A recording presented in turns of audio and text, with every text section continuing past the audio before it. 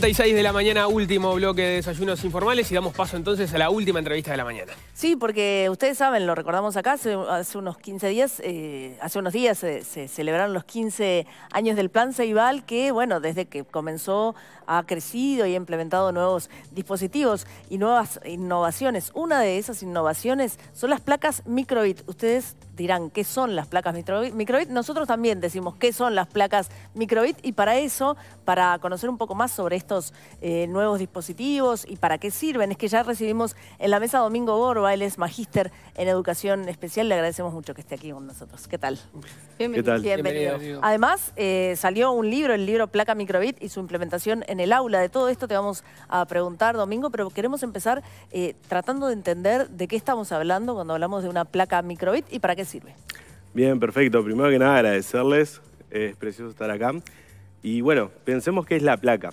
Es una pregunta que muchos nos hacemos, muchos se asustan cuando miren uno dice placa programable, ¿qué es lo que puedo hacer yo? Cuando en realidad soy profesor, soy, soy estudiante, se me desarma algo y llamo al técnico. Y en realidad la placa es simplemente un espacio de silicio en el cual tenemos componentes tipo botones, tenemos sensores, podemos trabajar con ella y la propuesta de la BBC es que esta placa llegue a cada uno de los estudiantes y que aprendan a programar. El lema de ellos es que programen un mejor futuro. ¿Por qué? Porque en el mundo que estamos tenemos que impulsar a que los estudiantes vayan a más, a que se animen no solo a usar las tecnologías, sino a crear recursos. Entonces, ¿cómo sería una placa de esas? ¿De qué estamos hablando? ¿Usted Bien, para mostrarnos? Mira, yo siempre que salgo, siempre que salgo llevo una en el bolsillo. ¿Por qué? Porque creo que es fundamental, creo que es importante que aprendamos a sensibilizarnos y a darnos cuenta de que si tocamos esto que cuando nosotros éramos chicos solo lo tocaban los técnicos, no pasa nada, realmente no pasa nada. Totalmente accesible, totalmente resistente. La única forma de que yo la pueda romper es que yo la meta en el agua. Que no lo vamos a hacer ahora. Y que hablar que no. Pero después es totalmente manipulable, no hay ningún problema con usarla. Y además uno puede traer, yo acá vengo con algunas cuestiones recicladas. Esto, si lo identifican, cualquier juguete de cualquier niño es simplemente un buzzer, un parlante, un, micrófono. Se puede reutilizar con ella. Tenemos una cajita de baterías para poder usarla de manera inalámbrica. Tenemos todos esos eh, parlantes que, le, arrancamos a los juguetes. Para que dejen de sonar. Para que dejen de, sonar se pueden volver a usar. Es que fíjate qué importante que es el decir, bueno, no solo estamos reciclando botellas, no solo estamos reciclando papel, sino además estamos reciclando componentes electrónicos. Que muchas veces, nada, simplemente los tiramos y esto funciona tal cual nuevo. Y es de un juguete. ¿Y qué usos le podemos dar? Bien, perfecto. Bueno, la placa es esta, como para empezar a diferenciar qué cosa es. La placa tiene, nosotros podemos mirar en la parte frontal, tenemos dos botones, A y B, también lo podemos usar juntos. Tenemos esta zona de abajo que son los pines, que son para agregar otros artefactos, como pueden ser los micrófonos. O sea, como para enchufar en ese caso. Exactamente, exactamente. ¿Querés verlo? A ver. ¿Te animás? Bien, perfecto. Mirá, acá la cuestión es tan sencilla como, acá tenemos una dos baterías. Bien, hasta esa tecnología la dominamos. Sin ningún problema. Uno mira y dice, bueno, en este puerto no ingresa, así que no va por ahí. Uno mira este puerto y dice, bueno, acá calzó y como verán, calza de manera muy fácil, muy sencilla. Entonces, si nosotros, a ver si podemos enfocar por ahí, si apretamos el botón A, nosotros vamos a ver de que estaría pasando un mensaje, que ahí si tenemos paciencia vamos a leer que dice desayunos informales. Es verdad. Entonces uno puede ahí ir escribiendo sin ningún problema el mensaje que quiera. Después podemos ver que también, por ejemplo, yo la programé con este sentido, ¿no? Si nosotros apretamos el B, me va a decir la temperatura que tenemos acá en estudio. Así que fíjate qué potente, ¿no? Uno puede dice tener... un grado, dice, ¿verdad? bueno, Ahí la... 21 grados. 21. Ahí la propuesta es pensar, bueno, ¿de qué manera esto potencia los aprendizajes de los estudiantes? Claro. No solamente en la asignatura de robótica o en la asignatura informática, sino decir, a ver, ¿para qué me sirve esto en el aula, pero en el aula concreta, más allá de la teoría? Bueno, si yo tengo, por ejemplo, una huerta, bueno, ¿qué temperatura tenemos en la huerta? Necesitamos más sol, menos sol, podemos también trabajar para poder censar cuál es la humedad, si está más húmedo, si está menos húmedo el suelo. ¿Para qué? Para saber si tenemos que regar, cosa que a veces nos resulta bien complejo. Si combinamos eso con un sonido, tenemos una alarma de humedad. El piso está seco, necesitamos regarlo. Y, en, esos casos, por ejemplo, si querés eh, la temperatura, ¿qué es lo que haces? ¿Le enchufás algo que como un, termómetro? No, ya lo tiene incorporado. Lo tiene incorporado. Pero ¿cómo, cómo, cómo le indicás vos que querés que diga la temperatura? Maravillosa pregunta. La cuestión es, este es la parte física, que es open source. Open source implica de que uno ve lo que está pasando. Si uno mira un termómetro convencional, uno ve una cajita y no sabe lo que pasa adentro ve simplemente la pantalla LED que me dice cuántos grados tengo. Pero acá estamos viendo todo. Vemos los componentes, vemos la línea de los circuitos, cómo se unen.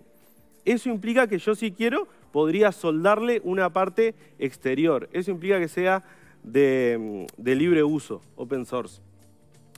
Contestando lo de qué, cómo hago que pase esto, lo que yo tengo que hacer es programarlo. Y ahí uno dice programación y la gente debe estar pensando en algo así como estilo Matrix, fondo negro, letras, esa cuestión ochentera. Bueno, eso ya pasó y es necesario que eliminemos esa imagen de nuestras cabezas. Ahora podemos trabajar con lenguaje mediante bloques, bloques al estilo puzzle, que nos permite ir uniendo piezas que tengan una secuencia lógica para que esto suceda. Eso se puede hacer en MakeCode, se puede hacer en Scratch, se puede hacer en un montón de sitios web que son gratuitos. En una computadora, en sitios web. En celulares también. En celulares, celulares tabletas, cualquier dispositivo que tenga acceso a Internet. Se puede hacer. Funciona, porque forma parte de lo que llamamos herramientas web 2.0, que son las que funcionan en cualquier navegador. Entonces, entras a la computadora, el celular, utilizas uno de estos programas me imagino que tenés algunas funciones que ya están más o menos predefinidas, por ejemplo, la temperatura del lugar, y eso, ¿cómo lo trasladás a la, placa?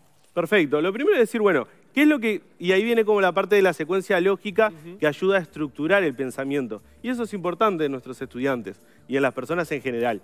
Entonces uno dice, bueno, ¿qué es lo que quiero hacer? Yo quiero hacer de que, en este caso, al apretar el botón B, entonces voy a sacar un bloque que diga, al apretar el botón B, ¿qué quiere hacer? Mostrar. Bueno, ¿mostrar qué? Mostrar la temperatura. Entonces voy a trabajar con esos tres bloques.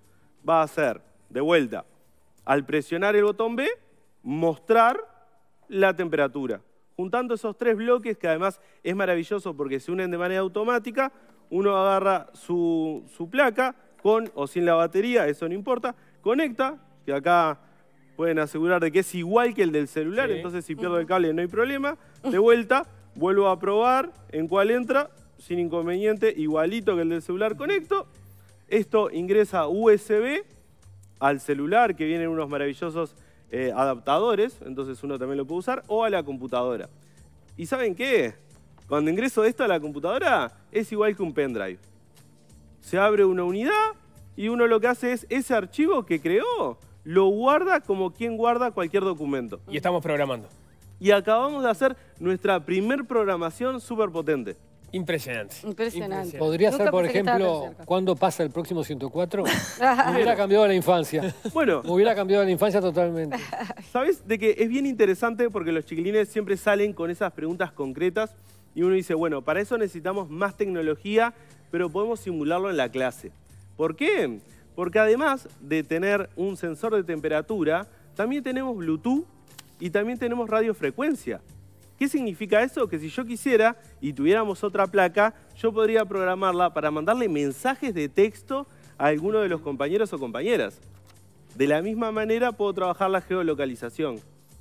Así que podemos hacer en nuestra clase ese circuito del autobús y recorrerlo sin ningún problema y ver a qué distancia se encuentra. Ya hay unas cuantas escuelas que, están, que han recibido de estas placas, ¿no? Mira, la cuestión, y es pública, es que Ceibar lo entrega a demanda a cada uno de los estudiantes que la solicitan y además le entrega a los docentes que realizan un curso que es súper básico, que es súper introducción, porque la gracia no es darles recetas. La gracia es decir, bueno, nosotros tenemos este potencial, ¿qué es lo que se te ocurre? Claro, crea. Exactamente. pasar a ese segundo nivel, dejar de ser consumidor para ser prosumidor de tecnología. Bien. Bien, Domingo Borba, magíster en Educación Especial, muchísimas gracias por eh, introducirnos en este mundo que no conocíamos. De la placa. Gracias. Muchas gracias. Muy bien, muchísimas gracias. Domingo.